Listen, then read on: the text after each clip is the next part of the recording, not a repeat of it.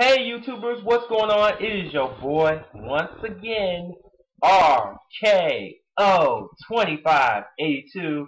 Um, just wanted to say, um, to all you YouTubers and my subscribers, everyone, um, um, after a talk with my girl in the YouTube community, um, Dirty Southie Club, um, I, I thought to myself, since she recently did a Q&A and you know what? I need to do another Q&A because it's been a long, long while since I've done my last Q&A, and that was back in like August of 2011. So, I mean, I and I want to keep going with these Q&As. I would like to do a Q&A for like once every month, just to keep things, you know, interesting on my channel. As I promised for 2013, I want to step up my game and all that stuff. So, it's been a while since I've done a Q&A, and I would like to do a Q&A um, with you guys. And um, please, please send me tons of questions. Please comment below or send me in the inbox of YouTube and stuff.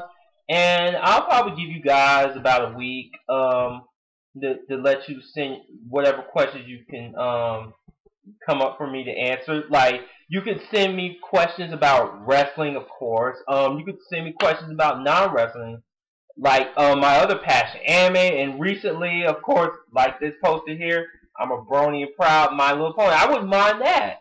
I mean, and and once again, please do not send me questions that I cannot answer. So please send me your questions once again, and that's all I wanted to say. And um, I cannot wait for um, next Sunday's WWE Royal Rumble pay per view. Uh, I would like if people gave me questions about that. That'd be awesome. But Anyway, this is your boy RKO2582. Uh, once again, see you guys.